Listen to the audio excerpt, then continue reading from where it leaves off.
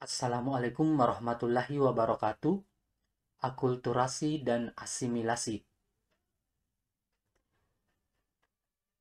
Apa itu akulturasi?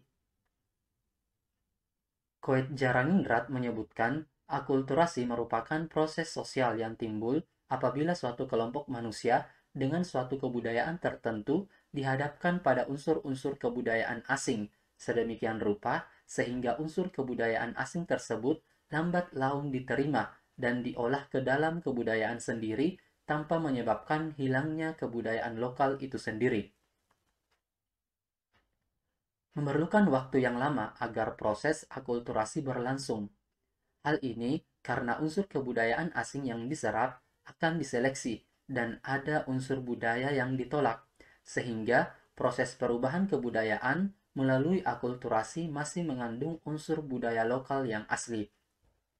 Secara lebih luas, akulturasi adalah proses adaptasi kebudayaan dengan tetap mempertahankan kebudayaan lama, sehingga proses ini tidak berjalan secara tunggal, melainkan terjadi secara dinamis. Terdapat bentuk kebudayaan yang menimbulkan proses akulturasi. Di antaranya, kontak kebudayaan dapat terjadi pada seluruh, sebagian, atau antar individu dalam masyarakat. Kontak kebudayaan dapat terjadi antara masyarakat yang memiliki jumlah yang sama ataupun berbeda. Kontak kebudayaan dapat terjadi antara kebudayaan maju dan tradisional. Kontak kebudayaan yang terjadi antara masyarakat yang menguasai serta masyarakat yang dikuasai, baik secara politik ataupun ekonomi. Contoh akulturasi. Yang pertama, rumah dengan gaya arsitektur Cina kuno di daerah Rembang dan Lasem, Jawa Tengah. Akulturasi ini tidak menghilangkan fungsi utama sebuah rumah sebagai tempat tinggal dan tempat berteduh. Yang kedua, kesenian gambang kromong. Akulturasi kesenian ini memadukan kebudayaan Indonesia dengan Tiongkok dalam pertunjukan musik penggunaan alat musiknya pun berasal dari dua kebudayaan tersebut. Dan yang ketiga, Masjid Menara Kudus.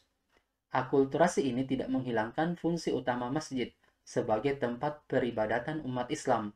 Masjid ini memadukan kebudayaan Islam dengan Hindu yang tercermin dalam gaya arsitektur bangunannya. Apa itu asimilasi? Asimilasi menurut Koit Jaraningrat merupakan proses sosial yang ada karena adanya golongan-golongan manusia yang memiliki latar kebudayaan yang berbeda.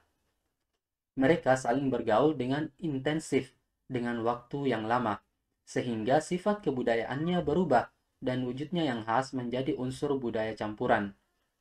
Sedangkan Richard Thompson menyatakan Asimilasi merupakan suatu proses di mana individu dari kebudayaan asing atau minoritas memiliki suatu keadaan yang mana terdapat kebudayaan dominan.